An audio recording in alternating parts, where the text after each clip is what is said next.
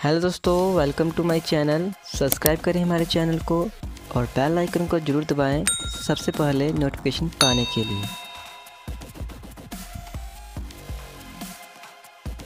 हिमाचल प्रदेश के आज के मुख्य समाचार। हिमाचल में दिवाली पर दो घंटे ही फोड़ सकेंगे पटाखे। निर्देश जारी हो चुके हैं, आइए देखते हैं। हिमाचल में दिवाली की रात 8 बजे से 10 बजे के बीच ही पटाखे जलाए जा सकेंगे। नेशनल ग्रीन ट्रिब्यूनल के आदेश के बाद हिमाचल सरकार ने यह फैसला लिया है। राज्य प्रदूषण नियंत्रण बोर्ड सभी जिलों के उपायुक्तों और पुलिस अधीक्षकों को पत्र भेज रहा है। बोर्ड के सदस्य सचिव डॉक्टर निपुण जिंदल ने बताया है कि एनजीटी ने वायु प्रदूषण के लिहाज से अति संवेदनशील शहरों में पटाखे पर प्रतिबंध और मॉडरेट श्रेणी में आने वाले शहरों में पटाखे चलाने के लिए दो घंटे की छूट दी गई है।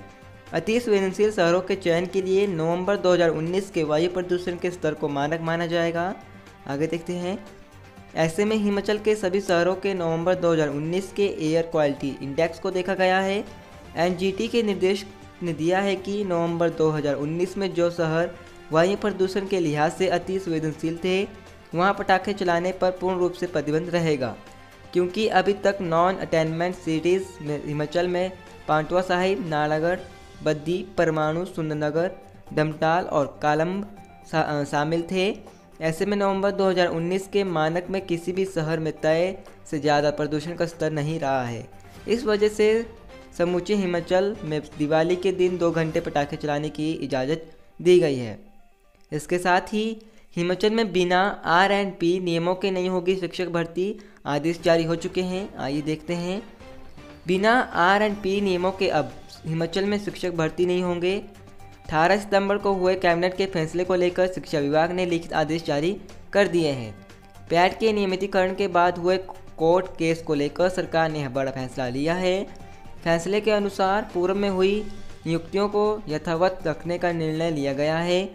14 दिसंबर को इस मामले की आगामी सुनवाई होगी।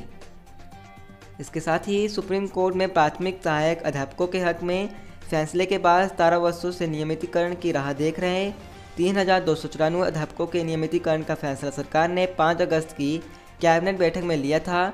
इनका नियमितीकरण एन के मानकों एवं R act, R and B नियमों के तहत करने के आदेश हुए थे। निदेशक प्रारंभिक शिक्षा ने इन अध्यापकों के नियमितीकरण ने नियुक्ति के वक्त के N C T R T act एवं आर एंड डी पी नियमों को 10 अगस्त को लागू करते हुए नियमितीकरण के आदेश पारित किए थे। अनुबंध, जेबीटी की याचिका की सुनवाई करते हुए हाईकोर्ट ने निर्देशक, प्रारंभिक शिक्षा विभाग को सरकार के 5 अगस्त के आदेश पर छोड़कर छेड़छाड़ के मामलों में जवाब तलब किया था। इस आदेश को प्रदेश के जेबीटी अनुबंध शिक्षकों ने हाईकोर्ट में चुनौती दी है। 18 सितंबर की कैबिनेट बैठक में फैसला लेते हुए स्पष्ट किया गया है कि पूर्व में हुई नियुक्तियों को यथावत रखा जाएगा। और भविष्य में सभी नियुक्तियों एवं नए आरडीपी नियमों से होगी। इस बार दिवाली पर वायु और ध्वनि प्रदूषण कम करने पर बच्चों को पढ़ाया जाएगा पाठ। आइए देखते हैं। दिवाली पर वायु और ध्वनि प्रदूषण कम करने का बच्चों को विशेष पाठ पढ़ाया जाएगा। इस सप्ताह ऑनलाइन पढ़ाई के दौरान विद्यार्थियों को विशेष तौर पर शिक्षकों की ओर से जागरूक किया जाएगा।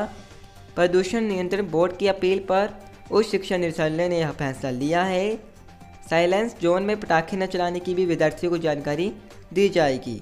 उच्च शिक्षा निदेशक डॉक्टर अमरजीत कुमार शर्मा ने बताया कि बच्चों को जागरूक करने से समाज का अधिकांश हिस्सा जागरूक होता है।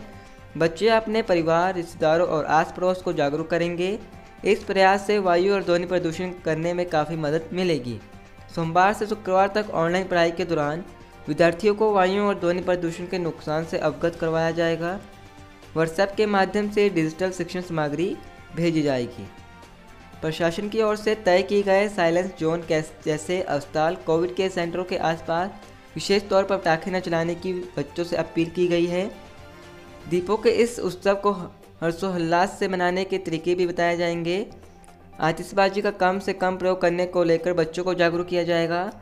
इस विशेष प्रयास में शिक्षा विभाग की प्रदूषण नियंत्रण बोर्ड मदद करेगा।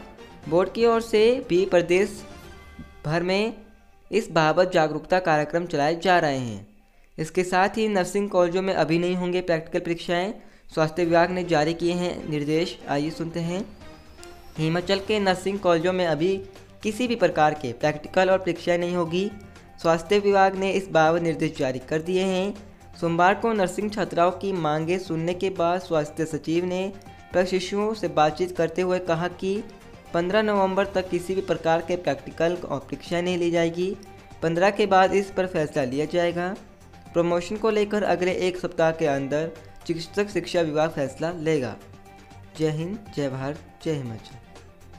अगर आपने हमारे चैनल को अभी भी सब्सक्राइब नहीं किया है तो हमारे चैनल को सब्सक्राइब कर लीजिए और बेल आइकन घंटी को प्रेस कर लीजिए।